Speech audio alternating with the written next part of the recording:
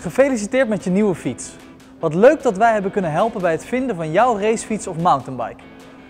We helpen je graag op weg zodat je helemaal klaar bent voor je eerste rit op je nieuwe fiets.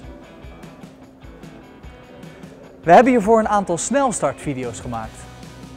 Deze video's leggen jou stapsgewijs uit hoe je jouw fiets kunt onderhouden en de onderdelen kunt afstellen zoals de hoogte van je stuur en je zadel. Wil je meer weten over een specifiek onderwerp, zoals helmen of pedalen?